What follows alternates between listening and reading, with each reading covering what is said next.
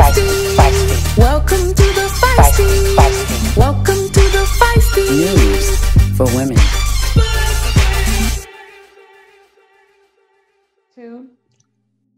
Hello and welcome to the feisty news for women. I am T. Erica. I present important women's issues and fearless feminine voices disrupting our society.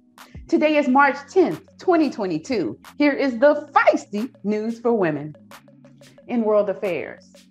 On February 24th, 2022, Russian President Vladimir Putin launched a full scale invasion of Ukraine in order to overtake the capital city and claim it as its own territory. Since then, Russia has been punished with 5,356 economic sanctions and accuses the U.S. of economic war while simultaneously continuing to bomb Ukraine, including a maternity and children's hospital. Nearly 1 million Ukraine citizens have managed to escape, and others are taking cover in bomb shelters. Throughout all of this madness, we have everyday working women from Ukraine trying to push through after uprooting their lives to escape the war zone. Let's meet one of them. Today we have Ludmila, a Ukraine woman who escaped the war zone and is now volunteering at a blood bank to help vi- victims of the Russian invasion. Ludmila, thank you for joining us at the Feisty. I know that this is a tough time for you, and I appreciate you taking the time to share your journey. Can you introduce yourself? Tell us a little bit about who you are. Okay, okay. Uh, my name is Ludmila uh, Holovkova. I'm from Kiev. I've been living in Kiev since I was 17 years old. Um, I um, I learned in the university there, and I just stayed and like continued my life in Kiev, working. I'm 33 years old now, and before the war, uh, I was uh, environment artist, a 3D artist. I was making game content. So everything you can see uh, when you start any computer game, it just what environment artists do. So it well, IT specialist or whatever. Some people some people call me a programmist, but I'm not. I'm just doing art, artist, CG artist. Right now, I am in Ternopil. Uh, this is um, Ukrainian city on the west of Ukraine because it's much safer than be in Kiev. We decided to leave Kiev um, the same day. It was Thursday when the war started, and um, me and my colleagues we went to the office. Like I knew that, like I read the news and. Um, I was, I mean, I was lost and I decided to go to the office because we have a big office. And before we had this conversation when someone, when, when this gonna happen, because yeah, like, uh, I can't tell you that we were uh, expecting the Russian invasion, but we knew that they gathered the army and all of that, but nobody actually believed that this stuff gonna happen that they actually gonna bomb everything. Uh, maybe that was 11 a.m and i saw like i was looking through the window and i saw uh, russian planes like crossing the sky. And i was just fuck i have to leave. I have to go. I can't do much. Like i'm i'm looking at planes that cross in the sky above the kiev I have I have to go. I I'm not the I'm civilian. I know nothing about actually war, and that's how we decided to go actually. And uh, me, my colleague, my other colleague, his girlfriend, and their dog. Um, we just uh, we sat into my car I was driving and we began to um, to leave Kiev and it took us 16 hours to go to Ternopil and the road was like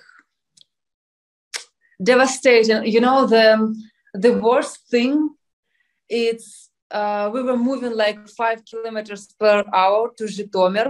Uh, it's another big city, and it was it it was breaking my heart that there was people who just walking out of Kiev with um, backpacks with children and like I couldn't help him because my car was very very like overcrowded.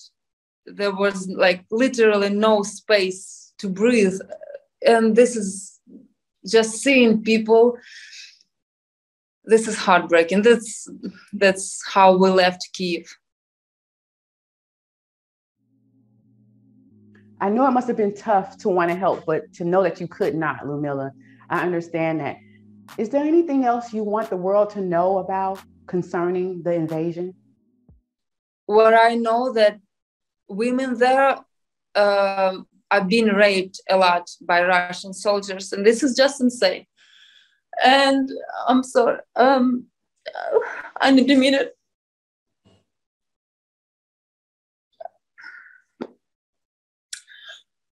Um, oh my god, uh, I can't believe that I'm crying because I didn't cry like.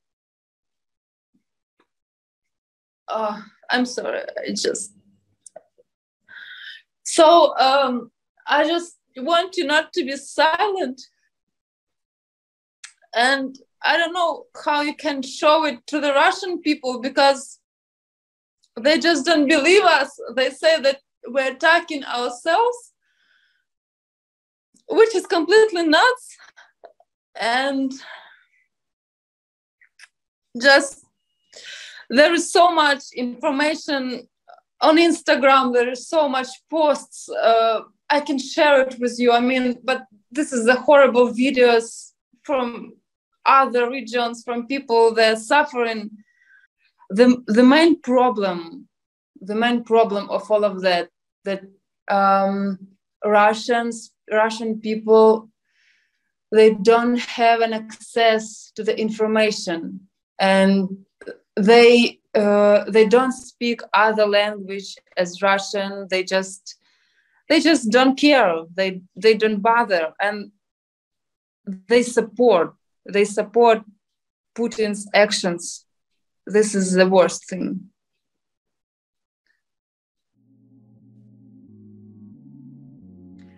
Thank you for sharing, Ludmila. I'm so glad that you are safe and sound and found a way to help others in the middle midst of your pain. Keep your head up and know that we are women and we are built for survival. Thank you for surviving and showing us how. In other news, Black women in the United States were nearly three times as likely to die during or shortly after pregnancy over the first year of the COVID 19 pandemic than white women, according to a National Center for Health Statistics report that was published last week. With information from over 40 studies across 17 countries, the review found that lockdowns, disruption to maternity services, and fear of attending healthcare facilities all added to pregnancy risks, leading to generally worse results for women and infants. About one third of the pregnant women and new mothers who died in 2020 were Black, even though Black Americans make up just over 13% of the US population. What is happening? Today, we welcome Dr. Tomi Mitchell to the Feisty. Dr. Tomi is a board certified family physician with a special concern for Black women since both of her own pregnancies were problematic due to lack of professional care. Welcome to the Feisty, Dr. Tomi. As a healthcare provider, can you tell us what is going on that allows these statistics to be true? Sure. Thank you, Terica. Thank you for inviting me to the Feisty, Feisty News today. You know what? This problem has been a problem for decades, like a long time. Okay. Black women, even before COVID, had a two to three times likelihood of dying compared to white women. And COVID really exposed the cracks which are in the foundation of our healthcare system and society, right? If you look at the social determinants of health and factors that have help someone have a positive outcome versus a negative, we know that economic status is a factor and race. It is a proven fact studied that Black women have worse outlines, sorry, worse outcomes. Reasons there's a history of we're not trusting. And you know, it's for good reason. Like if you go back in history, Black people have been experimented for a long time. And there's a history of many Black women, regardless of social economic status, not getting their concerns answered in a timely fashion or being like minimized, right? So it's there's so many issues and i can say i've seen it professionally and i've also seen this experience this personally so i know it's the truth. You know in both my pregnancies i always had hard pregnancies without a doubt but i mean either i've been ignored or minimized when i was having complications like postpartum hemorrhage which is a massive bleed. I've seen it even in my my daughter, who was just a little baby, seeing her ignored when she wasn't breathing, and no one believed me. They were like, "Oh, her lips aren't blue." I'm like, "No, she's black." Um, look at the machine. Look at her. Look at the patient. It is. now, I'm not going to paint the whole brush like everyone's the same, but some places are worse than others. But it's a fact. It doesn't matter. You could be a physician, and I'm a physician who's experienced it. In the news, we see um, Serena Williams and um, even Beyonce complain on other people who have had adverse outcomes, and many of them have died, so weren't able to actually share their story. So this is a real problem. And you know, April is Black Maternal um, Week, and you know, we really need to highlight this because again, the pandemic really it just opened what was already there. This is nothing new. It just exposed our vulnerabilities. Dr. Tomi, I understand you being proactive, what can we do to help improve the quality of healthcare we receive? Definitely. I always tell my patients um, it's so important that you have an advocate. Hopefully, there's someone in your family who understands the healthcare system a little bit, who can navigate, and who is not afraid to ask questions. And as a patient, you have the right to ask questions. Don't feel, oh, I don't want to bother the doctor. No, that is your that it's their duty to help you. And if they're not doing it in a timely manner, you have the right to complain. So the more we talk about this, the more we bring it to light, they're forced to change. So and, and also making sure we do our part by going through our regular screenings, preventative um, checkups. And if you feel more comfortable with Black providers, then seek them out. And for those of you who are young growing up, we do need more Black healthcare providers because studies show um, women that and children that have Black care providers do better. So we need to look after our own. Yes, everyone else as well, but we are a very vulnerable population, even at this present date and time. Thank you so much, Dr. Tomi. Ladies, she's telling us we have to speak up for ourselves and educate ourselves. If something doesn't feel right, don't blindly accept it. You have to go to war for your well being. You are worth it. In other news, four men were angry over COVID 19 restrictions, such as the closing of gyms. So they met in Ohio in June 2020 to plot ways to kidnap Michigan Governor Gretchen Whitmer and take her to Wisconsin for a trial. Authorities learned that they had training exercises and conducted surveillance in Whitmer's home in preparation for a snatch and grab. The four men will face trial in a Michigan courtroom next week. The kidnapping plot is representative of an increasing level of anger and violence towards women in U.S. politics. As more women take political office, they report fervent hostility being aimed at them, from death threats to armed people gathering outside their homes and even vicious attacks on social media that have nothing to do with their positions on government policies and more to do with gender, race, their intelligence, or even their appearances. A state and local government review survey of mayors in communities with over 30,000 residents found that 79% of mayors reported being a victim of harassment, threats, or other psychological abuse, and 13% reported instances of physical violence. Gender was the biggest, biggest predictor of whether mayors would be victims, with female mayors more than twice as likely as male mayors to face psychological abuse and nearly three times as likely to experience physical violence. The threat of being attacked online or in person may impact a woman's decision to run for office. What woman wants to take a leadership role when they know they will be attacked for doing it?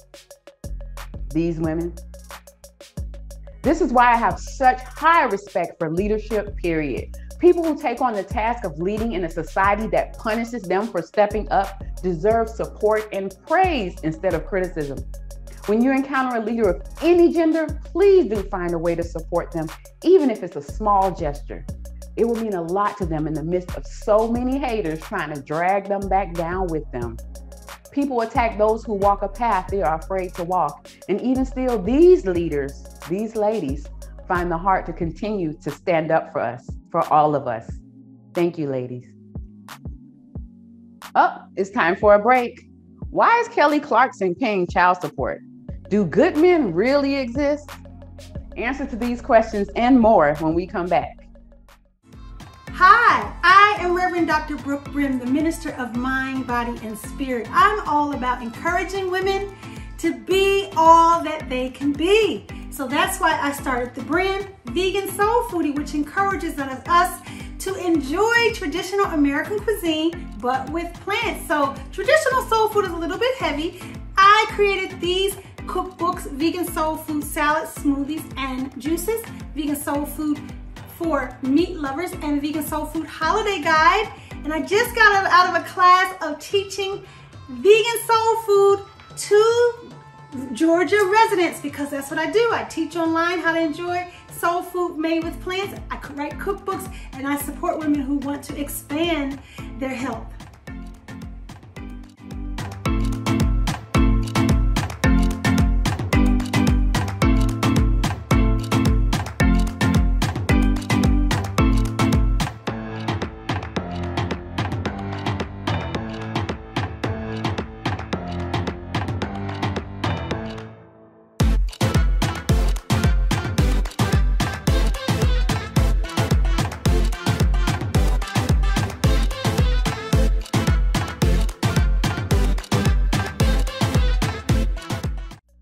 Welcome back. I am T. Erica with the Feisty News for Women. Girl, guess what? In the news this week, we were all shocked to learn that celebrity singer Kelly Clarkson had reached a settlement in her divorce to her ex husband, Brandon Blackstock. The two year divorce proceedings revealed that Kelly will make a one time payment to Brandon of just over $1.3 million. Additionally, Kelly will pay him $45,601 per month in child support, even though she would have joint custody of their two children. The math didn't add up to me, so I asked our legal expert, Dr. Jean Cirillo, what was going on. Although Dr. Jean was busy, she passed on a note explaining how the financial settlement was reached. Dr. Jean writes, the short answer is that they were awarded or they agreed to joint custody. When there is joint custody, the couple split the expenses for child support according to the percentage of each parent's gross income. That's gross income, not net usually at 17% or 8.5% of each if it's for one child, and 23% and then 29% for two or three children. Therefore, whether the child actually lives on the premises of one versus the other isn't as important as paying for expenses such as the private school, where Kelly has to pay 70% of the tuition, along with clothing and travel and possible food expenses. He also is awarded spousal support, which usually goes on for at least a few years. And he decided to give up his career as an agent to be a full time rancher, meaning he can stay at home with the children. Okay, I get it now. Thank you, Dr. Jean, for explaining what happened. Now we understand why this successful woman has since declared that she will never get married again. Maybe it's the pain of divorce, or maybe it's just sage wisdom. We'll support your decision either way, Kelly. Just be happy. Moving right along. You know what? I am a strong woman. I am a smart woman. In addition to being a feisty woman, I am also a wounded woman. After decades of trauma brought on by men passing through my life, I am so weighed down by emotional pain that I find it nearly impossible to relieve it. I know there are other women who once felt like I do and then went on to experience the difference a good experience with a good man can make in a woman's life. I know. Here at the Feisty, I consistently point out the disdainful behaviors of men, but even I know all men are not predators. There are men who stand with women, supporting them willingly with love. I went in search of women who could say that they had good men in their lives to offer you, me, and other wounded women visual proof that there is hope for love and our futures as we continue to strive to create a feminist society. Good men do exist. Just ask Caitlin. Hey, Caitlin. do you know a good man? I absolutely know a good man. His name is Ash, and I met him shortly after going through a couple of different abusive relationships and after going through a double mastectomy. I am the author and director of a project called Beauty After Breast Cancer. And Ash, who is now my husband, was integral in making that project happen. Because 29 and single with a double mastectomy makes for about the world's most awkward dating conversation. It's kind of like, Hi, I'm Caitlin. So nice to meet you. Hope you're not a boob guy. When I met Ash and had this really challenging discussion of, oh, by the way, just went through this surgery, he instantly figured out how insecure I was about this.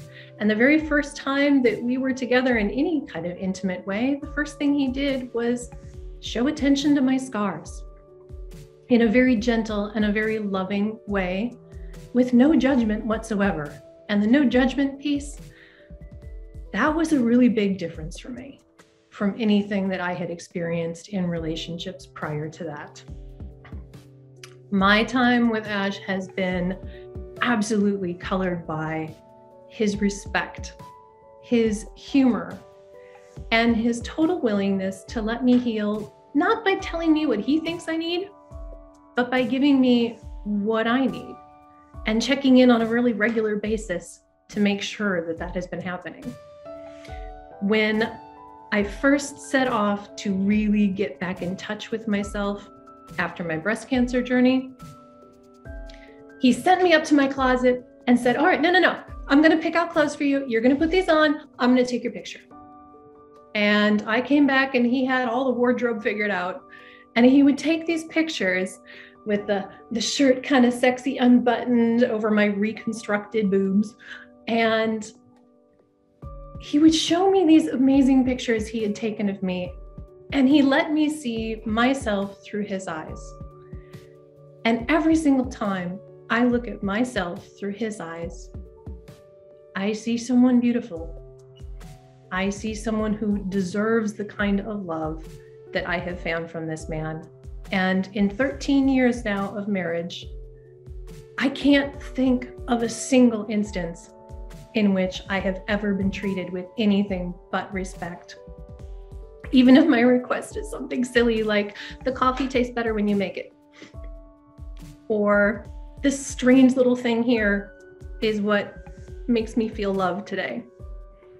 There is no judgment, there is only love, respect, solid communication, and the amazing humor and passion from someone that for many years, I guess, I had only hoped that I could deserve.